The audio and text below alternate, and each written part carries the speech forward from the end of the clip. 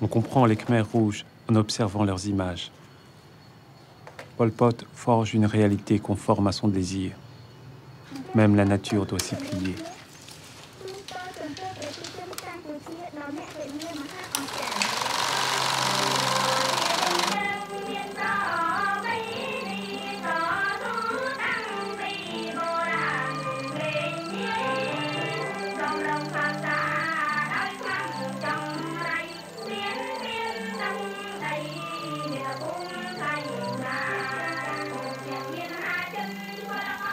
Parfois, les cadres rassemblaient plusieurs villages et nous projetaient un film, montant la lutte du peuple à main nue contre les puissants colonisateurs.